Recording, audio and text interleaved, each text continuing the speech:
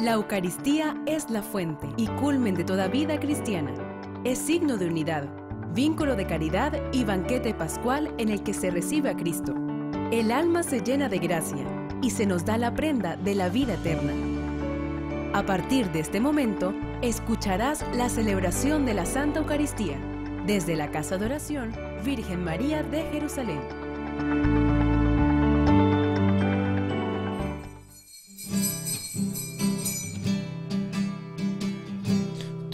De la mano con Jesús yo voy, te sigo como oveja que encontró al pastor. Tomados de la mano con Jesús yo voy, a donde Él va. Tomados de la mano con Jesús yo voy, te sigo como oveja que encontró al pastor. Tomados de la mano con Jesús yo voy, a donde Él va. Si Jesús me dice amigo, deja todo y ven conmigo, donde todo es más hermoso y más feliz. Si Jesús me dice amigo, deja todo y ven conmigo, yo mis manos pondré las suyas e iré con él. Tomados de la mano con Jesús yo voy, te sigo como oveja que encontró al pastor. Tomados de la mano con Jesús yo voy, a donde Él va. Tomados de la mano con Jesús yo voy, te sigo como oveja que encontró al pastor. Tomados de la mano con Jesús yo voy, a donde Él va.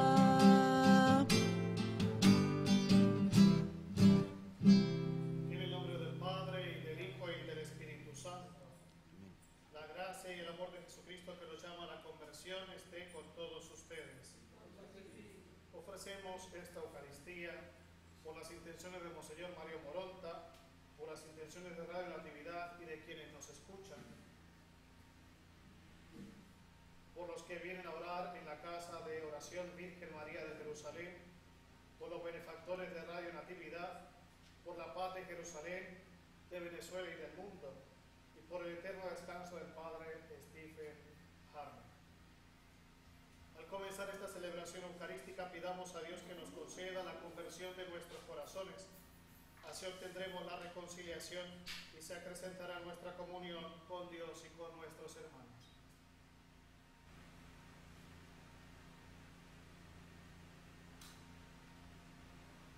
Yo confieso ante Dios Todopoderoso y ante ustedes, hermanos, que he pecado mucho de pensamiento, palabra, obra y omisión, por mi culpa, por mi culpa, por mi gran culpa. Por eso ruego a Santa María la siempre Virgen, a los ángeles, a los santos y a ustedes, hermanos, que intercedan por mí ante Dios nuestro Señor. Señor Todopoderoso, tenga misericordia de nosotros, perdone nuestros pecados y nos lleve a la vida eterna.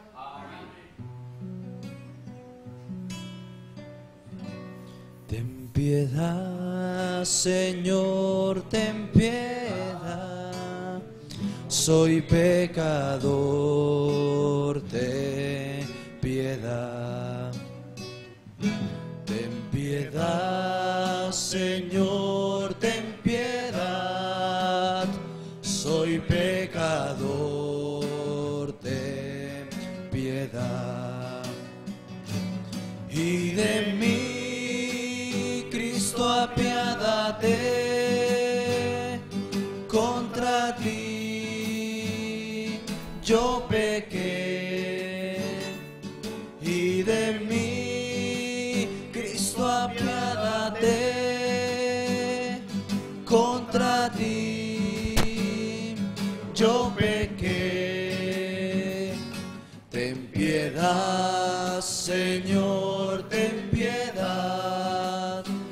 soy pecador, ten piedad. Ten piedad, Señor, ten piedad. Soy pecador, ten piedad. Oremos. Mira, Señor, con misericordia a tu pueblo que en estos días de cuaresma usa con moderación de los bienes del cuerpo y aviva en su espíritu el deseo de poseerte. Por nuestro Señor Jesucristo, tu Hijo, que vive y reina contigo, en la unidad del Espíritu Santo y es Dios por los siglos de los siglos. Amén.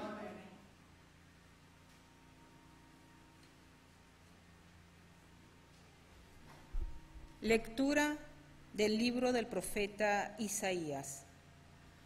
Esto dice el Señor, como bajan del cielo la lluvia y la nieve y no vuelven allá, sino después de empapar la tierra, de fecundarla y hacerla germinar, a fin de que dé semilla para sembrar y pan para comer, así será la palabra que sale de mi boca. No volverá a mí sin resultado sino que hará mi voluntad y cumplirá su misión. Palabra de Dios. Te alabamos, Señor. El Señor libra al justo de todas sus angustias. El Señor libra al justo de todas sus angustias. Proclamemos la grandeza del Señor y alabemos todos juntos su poder. Cuando acudí al Señor, me hizo caso y me libró de todos mis temores. El Señor libra al justo de todas sus angustias. Confía en el Señor y saltarás de gusto. Jamás te sentirás decepcionado, porque el Señor escucha el clamor de los pobres y los libra de todas sus angustias. El Señor, libra al justo de todas sus angustias. Los ojos del Señor cuidan al justo y a su clamor están atentos sus oídos. Contra el malvado, en cambio, está el Señor para borrar de la tierra todos sus recuerdos. El, Señor libra al justo de todas sus angustias. Escucha el Señor al hombre justo y lo libra de todas sus congojas. El Señor no está lejos de sus fieles, y levanta a las almas abatidas. El Señor libra al justo de todas sus angustias. Queremos escuchar tu voz, oh Jesús, oh Jesús, vivir tu amor en plenitud y cambiar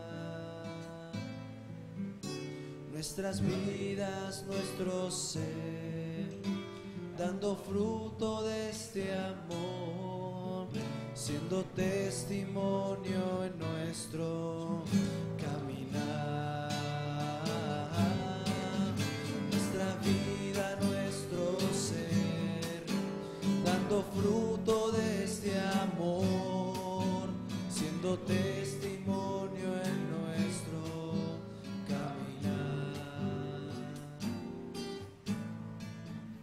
El Señor esté con ustedes.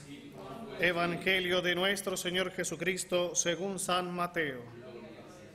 En aquel tiempo Jesús dijo a sus discípulos, cuando ustedes hagan oración no hablen mucho, como los paganos que se imaginan que a fuerza de mucho hablar serán escuchados. No los imiten, porque el Padre sabe lo que les hace falta antes de que se lo pidan. Ustedes pues oren así.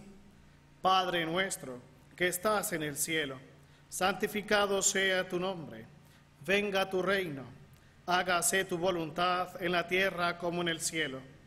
Danos hoy nuestro pan de cada día, perdona nuestras ofensas, como también nosotros perdonamos a los que nos ofenden. No nos dejes caer en tentación y líbranos del mal. Si ustedes perdonan las faltas a los hombres, también a ustedes los perdonará el Padre Celestial. Pero si ustedes no perdonan a los hombres, tampoco el Padre les perdonará a ustedes sus faltas. Palabra del Señor.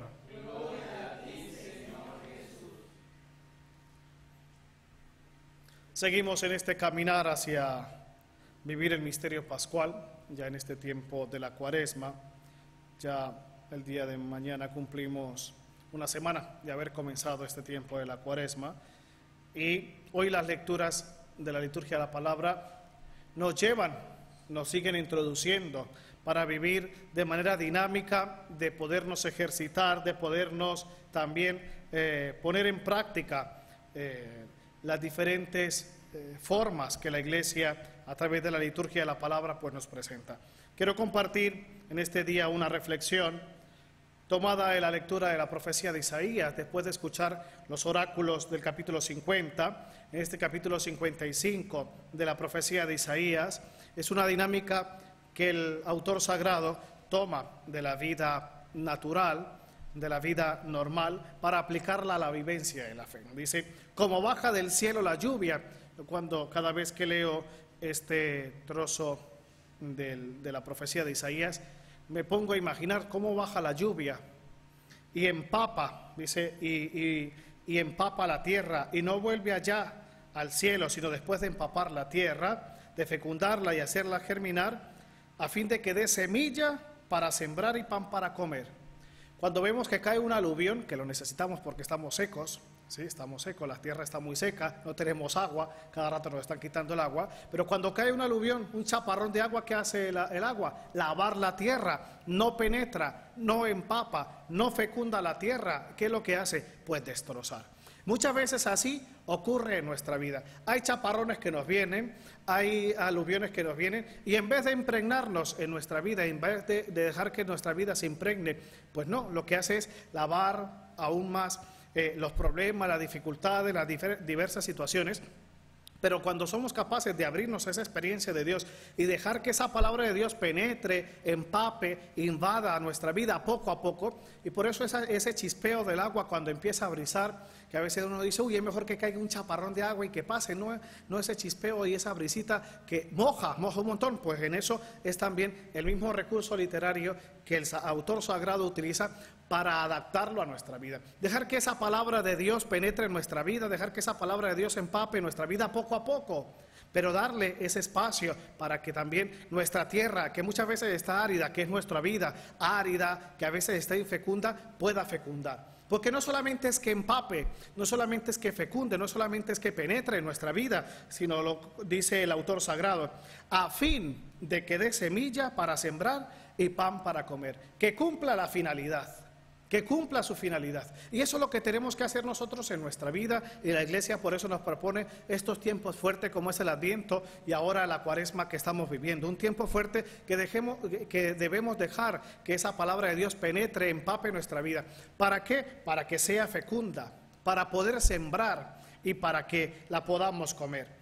Y, sigue esa comparación. Así será la palabra que sale de mi boca, que sale de la boca del Señor. Esa palabra no retornará allí infecunda, no, no retornará, que es la misma dinámica que tenemos nosotros en la liturgia. Todo nos viene de Dios Padre, por medio de su Hijo Jesucristo, eh, en, su Hijo Jesucristo, por medio con el Espíritu Santo, y retorna otra vez al Padre. Todo lo que viene del Padre retorna a Él por medio del Hijo en el Espíritu Santo. Así será la palabra que sale de mi boca. No volverá a mí sin resultado. Y no puede volver. No puede volver. El que conoce a Jesús, el que conoce a Dios, no puede quedar indiferente. No puede quedar indiferente. Es decir, no es indiferente. Que a veces la gente se aleja y dice, no, que no sé cuánto, que esa iglesia, que los católicos, que no sé cómo, que yo me aburro. Pues, es decir, usted no ha hecho experiencia de Dios. Usted no ha dejado que esa palabra de Dios empape, penetre, invada su vida, que pueda dar fruto, que se pueda dar una semilla que se pueda sembrar. Usted no ha hecho ese proceso. Ha sido como ese, ah, lo que ha hecho es un aluvión plum, que es lo que a veces yo le tengo miedo a los, a los retiros y fusiones así fuertes. La gente, eso es como una llamada de tusa, se enciende, ¿y después qué? ¿Y después qué? Muchas veces así pasa, ese aluvión que nos viene encima y, lo que hace, en vez de penetrar, nos barre, nos barre, y a veces el golpe viene peor. Hay que ir poco a poco ir sopesando, ir también eh, buscando el equilibrio en nuestra vida, sino que hará mi voluntad, dice, continúa diciendo la profecía de Isaías, sino que hará mi voluntad y cumplirá su misión. En definitiva, la palabra que ha fecundado esta tierra es Jesucristo. La palabra que ha retornado nuevamente al Padre es Jesucristo. Y en Él vemos y se ha cumplido la voluntad de Dios, se ha cumplido la voluntad del Padre. Y eso lo hemos escuchado hoy en el relato evangélico. Jesús nos propone una manera sencilla de orar de hacer la voluntad del Padre, y, es así como comienza la oración, Padre nuestro que estás en el cielo. Santificado sea tu nombre, venga a nosotros tu reino. Santificado sea tu nombre, venga a nosotros tu reino. Eso es lo primero que le pedimos en la oración del Padre Nuestro, una oración sencilla, una oración que nos une y una oración que nos hermana a todos los cristianos. Y es las, las primeras indicaciones que nos dice esta oración. Santificado sea tu nombre, venga a nosotros tu reino. Y después si vienen las peticiones, hágase tu voluntad, así en la tierra como en el cielo. Danos hoy nuestro pan de cada día. Perdona nuestras ofensas, como también nosotros perdonamos. No nos dejes caer en la tentación.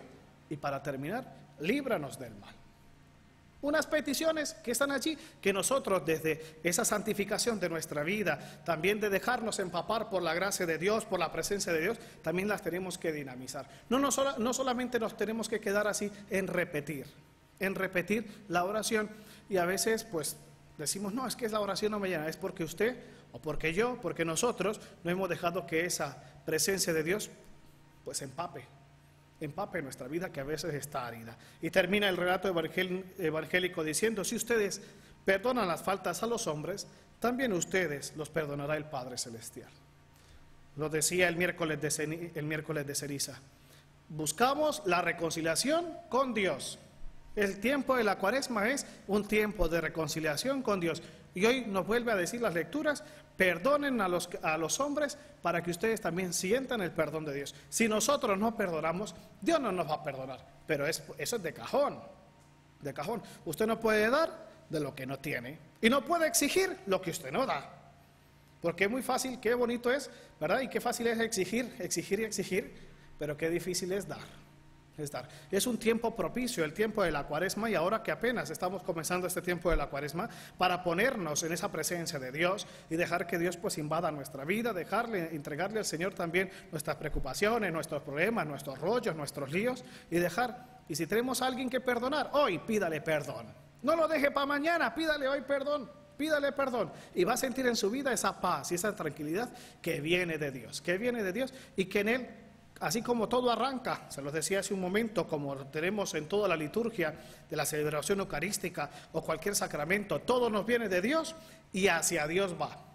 Todo nos viene de Dios y hacia Dios vea. ¿Y quién cumple esa voluntad del Padre? Jesucristo. Por medio del Espíritu Santo que vuelve esa plegaria, que vuelve esa oración al Padre Creador. Pues que esta palabra de Dios, hermanos y hermanas, nos ayude, que esta palabra de Dios a nosotros nos motive y esta palabra de Dios que hoy hemos escuchado sea esperanza para nosotros, para poder vivir este tiempo de la cuaresma con tranquilidad, con gracia de Dios, escuchando su palabra para que sea fecunda, para que pueda germinar, para que esa palabra pueda sembrar y dé su fruto y también podamos comer. Y así que la oración sea una constante en nuestra vida, una oración sencilla como la oración del Padre nuestro. No necesitamos muchas veces palabrerías, que es lo que critica Jesús, que a veces porque si no nos escuchan o no nos oyen, no pegamos gritos, la oración como que no vale. No, esa oración de intimidad, de estar a solas con el Señor, pues el Señor es el que penetra nuestro corazón. Ojalá y dejemos que nuestra vida el Señor penetre para que podamos salir transformados por su gracia. Que así sea.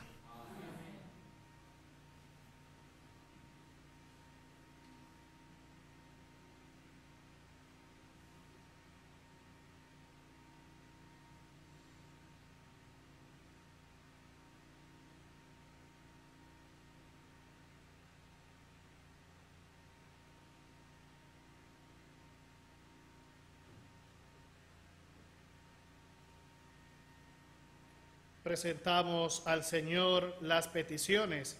En este día que oramos también por las intenciones del Señor, de Monseñor Mario Moronta, por las intenciones de esta iglesia de San Cristóbal, roguemos al Señor. pedimos, Señor.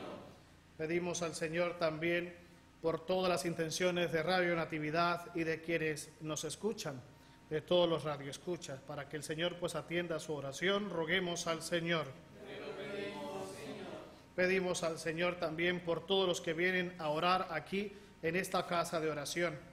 Virgen María de Jerusalén, para que el Señor escuche sus plegarias, atienda aquella petición, aquella oración que está en lo más profundo de su corazón, roguemos al Señor. Pedimos al Señor también por la paz, el bienestar del mundo entero, para que cese la guerra, las discordias y reine el amor y la justicia. Roguemos al Señor. Para que socorra a cuantos padecen hambre, inspire sentimientos de caridad a los que tienen riquezas y multiplique los frutos de la tierra, roguemos al Señor. Para que el Señor, que consagró con su ayuno los días de la Santa Cuaresma, bendiga la penitencia de su iglesia y la proteja de los ataques del enemigo, roguemos al Señor. Para que cuantos en este tiempo de cuaresma buscan sinceramente a Dios, recibamos la plenitud de su perdón, roguemos al Señor. Para que la palabra de Dios que hemos escuchado en este día fecunde muchas veces nuestra vida árida y seca y también podamos que esa palabra de Dios produzca fruto de semilla y podamos comer y compartir tantos beneficios que el Señor nos ha regalado, roguemos al Señor. Para que en este tiempo de la cuaresma aumente en nosotros, Señor, su gracia y así podamos orar desde el corazón con palabras sencillas. A veces sentimos que no oramos al Señor, pues hoy el relato del Evangelio de, de Mateo nos propone esa oración que nos une, que nos hermana, como es la oración del Padre nuestro. Si no tiene más palabras que decirle al Señor en este día y en su vida, pues reza esa oración del Padre nuestro, que salga de su corazón, para que nuestra vida sea una vida llena de sencillez, de humildad y de la gracia y del amor de Dios, roguemos al Señor. Les invito a que en un momento de silencio también presentemos aquellas peticiones, necesidades, acciones de gracias que están en lo más profundo de nuestro corazón.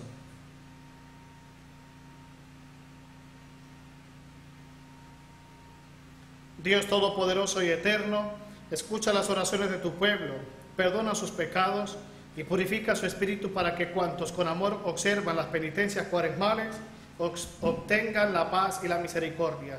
Por Jesucristo nuestro Señor. Amén.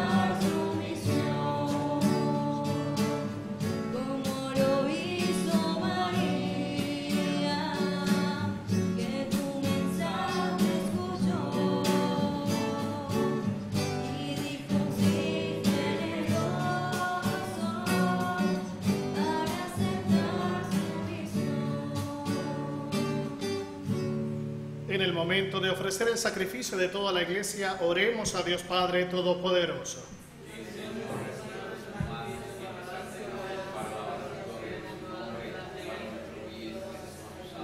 Acepta, Señor y Creador Todopoderoso, los dones que hemos recibido de tu generosidad y convierte el pan y el vino que nos has dado para nuestra vida cotidiana en sacramento de salvación eterna.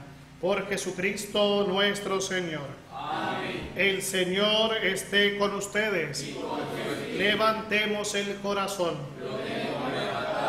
Demos gracias al Señor nuestro Dios. En verdad es justo y necesario, es nuestro deber y salvación, darte gracias siempre y en todo lugar, Señor Padre Santo, Dios Todopoderoso y Eterno, porque has querido que en nuestras privaciones voluntarias encontremos un motivo para bendecirte ya que nos ayudan a refrenar nuestras pasiones desordenadas y al darnos ocasión de compartir nuestros bienes con los necesitados, nos hacen imitadores de tu generosidad. Por eso con todos los ángeles te glorificamos y te aclamamos diciendo.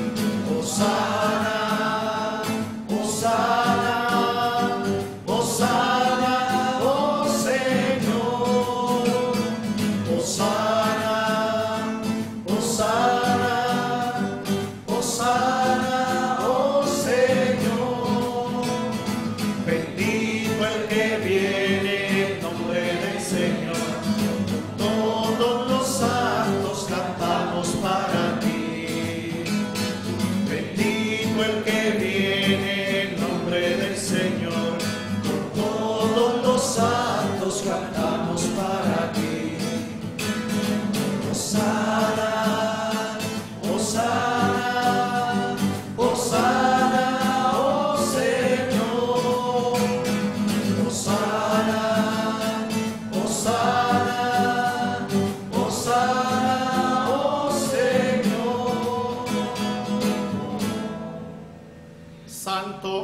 verdad, Señor, fuente de toda santidad. Por eso te pedimos que santifiques estos dones con la efusión de tu Espíritu, de manera que se conviertan para nosotros en el cuerpo y en la sangre de Jesucristo nuestro Señor, el cual, cuando iba a ser entregado a su pasión voluntariamente aceptada, tomó pan, dándote gracias, lo partió y lo dio a sus amigos, diciendo, tomen y coman todos de él, porque esto es mi cuerpo que será entregado por ustedes.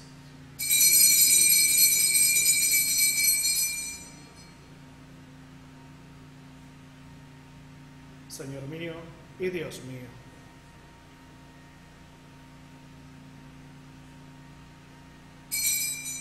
Del mismo modo, acabada la cena, tomó el cáliz y dándote gracias de nuevo, lo pasó a sus amigos diciendo, tomen y beban todos de él, porque este es el cáliz de mi sangre, sangre de la alianza nueva y eterna, que será derramada por ustedes y por muchos para el perdón de los pecados. Hagan esto en conmemoración mía.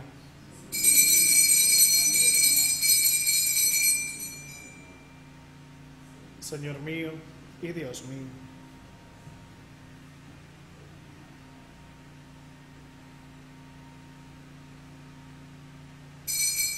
Este es el misterio de la fe.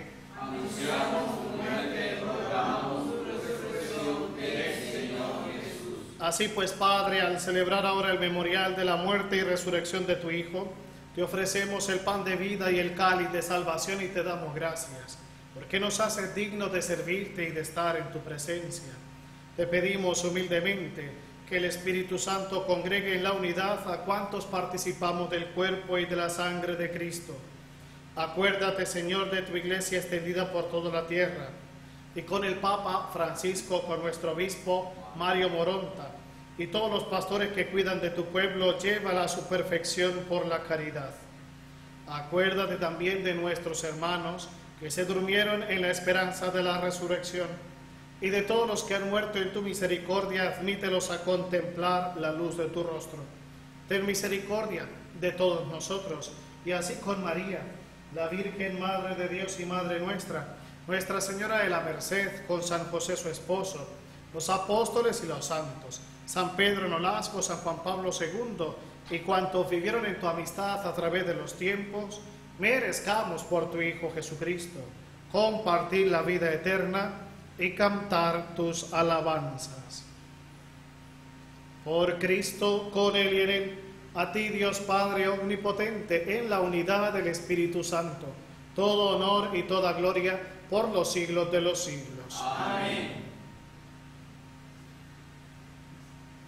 El amor de Dios ha sido derramado en nuestros corazones con el Espíritu Santo que se nos ha dado. Digamos con fe y esperanza. Padre nuestro que estás en el cielo, santificado sea tu nombre. Venga a nosotros tu reino. Hágase tu voluntad en la tierra como en el cielo. Danos hoy nuestro pan de cada día. Perdona nuestras ofensas, como también nosotros perdonamos a los que nos ofenden. No nos dejes caer en la tentación y líbranos del mal. Líbranos de todos los males, Señor, y concédenos la paz en nuestros días, para que, ayudados por tu misericordia, vivamos siempre libres de pecado y protegidos de toda perturbación, mientras esperamos la gloriosa venida de nuestro Salvador Jesucristo. Señor Jesucristo, que dijiste a tus apóstoles, la paz les dejo, mi paz les doy. No tengas en cuenta nuestros pecados, sino la fe de tu iglesia aquí reunida y conforme a tu palabra, concédele la paz y la unidad. Tú que vives y reinas por los siglos de los siglos, Amén. la paz del Señor esté siempre con ustedes. Como hijos e hijas de Dios, intercambiemos ahora un signo de comunión fraterna.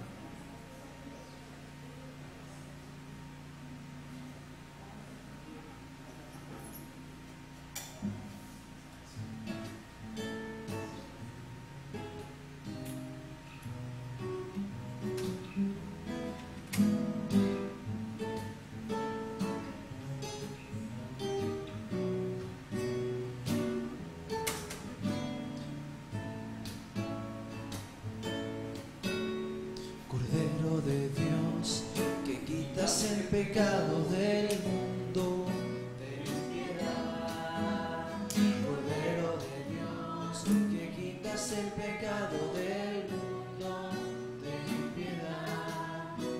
Cordero de Dios, que quitas el pecado del mundo, danos la paz. Danos la paz, danos la paz. Este es Jesucristo, el Cordero de Dios, el que quita el pecado del mundo. Dichosos los invitados al banquete del Señor. Señor, no soy digno de que entres en mi casa, pero una palabra tuya bastará para sanar.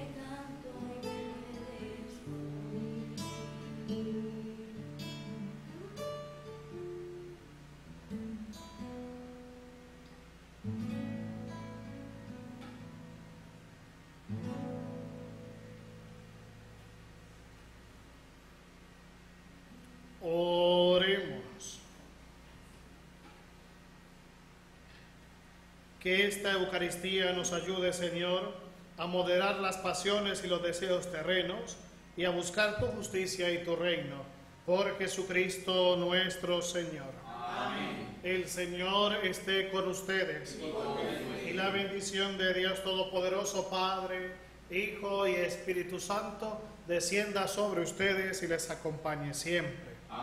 Lo que hemos celebrado, llevémoslo a nuestra vida y pongámoslo en práctica. Pueden ir en paz. Que pasen todos una feliz y santa noche.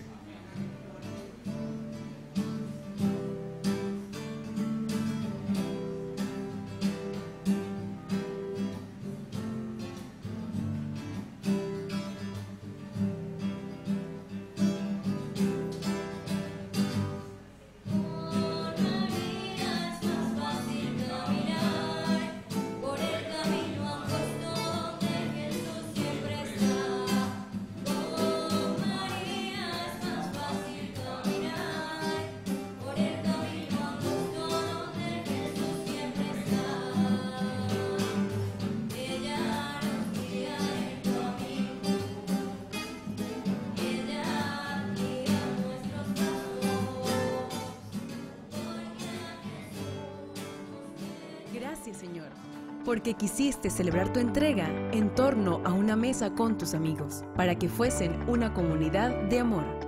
Radio Natividad transmitió la celebración de la Santa Eucaristía desde la Casa de Oración Virgen María de Jerusalén.